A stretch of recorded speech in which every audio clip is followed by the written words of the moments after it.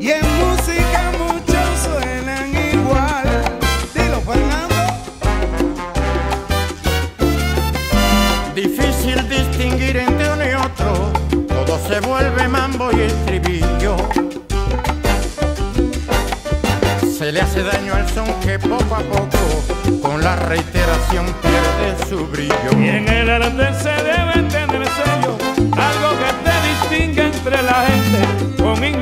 crear lo bello,